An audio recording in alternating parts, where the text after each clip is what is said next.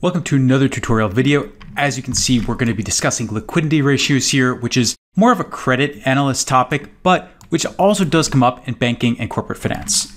So there are a few components. I will be sharing the extracts of this company, Illinois Tool Works, and their filings. We'll also be going through some Excel exercises, and I will show you where the calculations come from.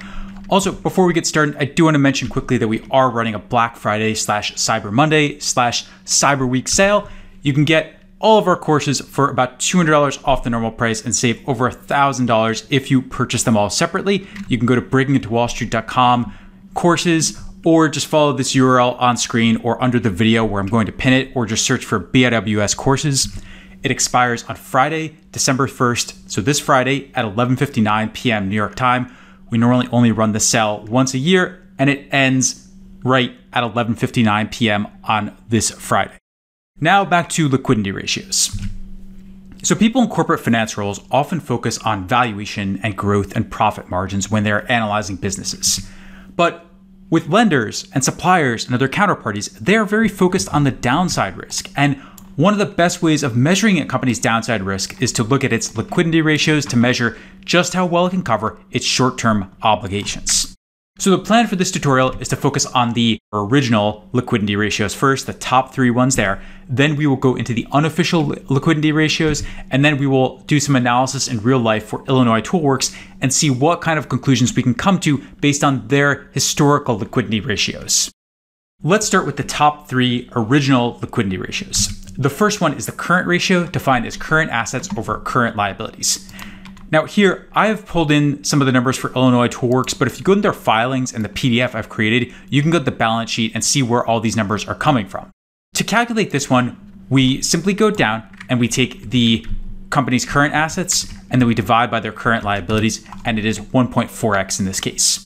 Essentially, the current ratio tells you how easily the company could repay its short term obligations with its short term assets, including assets that are less liquid. So, for example, cash is obviously liquid, so they could easily use this to repay some of the short term debt, but something like inventory is much less liquid. They're probably going to have to sell this to customers and go through the delivery and billing process and all that. So, this is much harder to turn into cash than actual cash or even something like accounts receivable. Another original liquidity ratio is the quick ratio, which is defined as cash and cash equivalents plus accounts receivable divided by current liabilities. So for this one, we can go and take the cash and the accounts receivable and then divide by the current liabilities right here. It comes out to 0.9x. This one is telling us if we consider only the company's most liquid assets, such as cash and AR, how well can it repay its short term obligations? And in this case, the conclusion is that they could repay most of the short term obligations, but not quite everything because it is below the 1x level. And then one final liquidity ratio is called the cash ratio, which is the cash and cash equivalents divided by the current liabilities. The calculation here is that we go in and take the cash number and divide by the current liabilities, comes out to 0.2x. They cannot repay very much of their short term obligations using just their cash balance.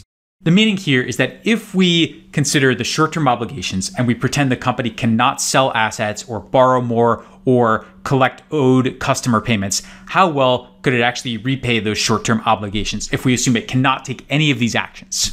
Normally, with these ratios, you want to look at the trends over time and see how they've changed over many years or a decade, or even have they changed from quarter to quarter over a relatively long period. And in forecasts, you want to see how they might change if there's a recession or a downturn or some other disturbance. Now, in addition to these official liquidity ratios, there are unofficial liquidity ratios as well. One of these is working capital divided by revenue. This is not liquidity directly, but it does measure how risky or inefficient a company is. To calculate this, you want to start with the company's working capital. Now, I've highlighted the specific line items that I've used to calculate this in the filing right here. In short, I'm only considering operational items, and so I'm ignoring cash and debt for this calculation, but that's the basic idea, and I've laid it out right here. To calculate this, you can take the working capital and then divide by the revenue right here, and it comes out to about 19%.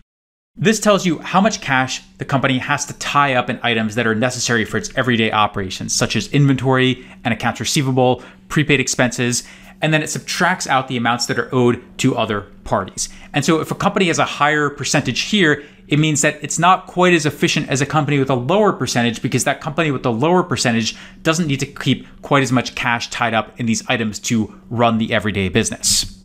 Then there's also the change in working capital divided by the change in revenue. This tells you how much the company needs to reinvest in its operations in order to fund its future growth, or in this case, to fund its historical growth, since we're looking at it on a historical basis. To calculate this one, first we need the change in working capital. And to calculate this, you always want to start with the old number and then subtract the new number, at least when you're looking at this for this type of financial statement analysis. So we can do this, and we might as well add it in for the historical years as well.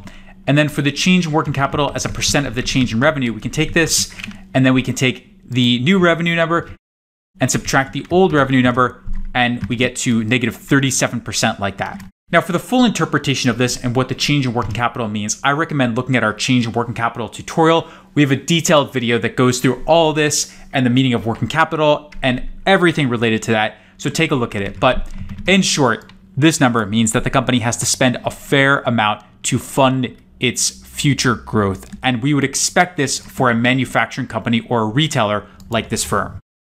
There are also a couple of liquidity ratios or unofficial liquidity ratios related to debt and cash and equity, such as net debt, which is defined as debt minus cash, debt over total capital, which is debt divided by debt plus equity in the balance sheet, and then net debt divided by net capital, which is debt minus cash divided by debt plus equity minus cash. Let's go in and make these calculations. So for net debt, we want to take the total debt number and subtract the cash number. For total capital, we want to take our debt and then add our equity on the balance sheet. So not the company's market cap or equity value, but the book value of this number. In other words, if you go to their balance sheet, we want to take the stockholders' equity number down here. Technically, we should leave out the non controlling interest, but it doesn't matter. It's one, it's insignificant, so I'm just not bothering with it here. Let's copy these across. And then for net capital, we take total capital and then subtract the cash balance right here and then to calculate these numbers. So net debt, we already have above. This is just the debt minus the cash. Debt divided by total capital, we take our total debt and divide by our total capital. And then net debt divided by net capital, we take our net debt and divide by our net capital. So all these metrics are telling you how well the company can service its debt and eventually repay it. Lower numbers mean that the company is taking on less risk. Higher numbers mean that the company is taking on greater risk. In this case, we don't really know exactly how to interpret this because we don't know what the comparable companies and their debt levels look like. These look like fairly high numbers, but again, in this industry, they may not be unusual. These would be more concerning if we were looking at the market value of the company's equity rather than its book value right here. But as it stands, we're not quite sure how to interpret these without additional information. Normally, with metrics like net debt and total debt, you divide by EBITDA to adjust for company sizes. If one company has 10,000 of debt and another company has 1,000 of debt, it doesn't really matter if the first company is also 10 times bigger than the other company. So you always have to adjust for size when you're looking at these types of metrics. Let's go to the last part now and talk about liquidity ratios in real life for Illinois Tool Works. So to put everything in context, we can calculate these ratios for the company over three years. Let's actually go in right now and extend what we have here and just copy and paste this in Excel and go back these two years so we have it right here. Now, the first conclusions from these numbers is that since the current ratio, quick ratio, and cash ratio are all falling, we can say that the company's liquidity has indeed declined over this period. If you look at why this has happened, it's mostly because their cash balance has fallen and their short-term debt has risen. If you look at their cash balance, it's down from 2.5 billion to 700 million, Current liabilities, though, are up from 2.5 or 2.6 billion to about 4.4 billion. And if you look at the financials, you can see that the short-term debt in just the past year has roughly doubled from about 700 or 800 million to more like 1.6 billion. So this is definitely concerning. Another conclusion we can draw is that this company is fairly capital intensive in terms of what it needs to keep in working capital and then reinvest to fund future growth because working capital is always 15 to 20% of revenue. The change in working capital as a percent of the change in revenue here is always negative. Overall, it is a fairly capital intensive business as you would expect for a manufacturing company. And then the third conclusion is that the long term funding is fairly stable. And I'm saying that because debt to total capital is around 70%, net debt to net capital is in this 60 to 70% range each year. So it's not like these are going up or down all in one direction or the other. They're staying in a relatively stable range over time. So those would be our quick, conclusions. In short, I would say here that there are some short term concerning signs with this company, but the long term picture seems fine. Also, in fiscal 2020, right when COVID began, a lot of companies had artificially higher liquidity numbers because of the fact that many companies raised extra debt or extra capital that they wouldn't necessarily need right away. So we'd like to go back and we'd like to look at something like maybe five years before this, or even 10 years or 15 years before this, and see how these ratios have evolved over this period. Because if we just look at three years, this could disguise some type of dramatic event that took place in fiscal 2020 to all companies that distorted these numbers and made them much higher than they normally are. So that's about it for this tutorial. To do a quick summary now, the top three liquidity ratios, the original ones that everyone refers to, are the current ratio, defined as current assets over current liabilities, the quick ratio, cash plus AR over current liabilities, and then the cash ratio, cash over current liabilities. And these all give you a picture of how well the company can repay its short term obligations with its short term assets or its most liquid assets.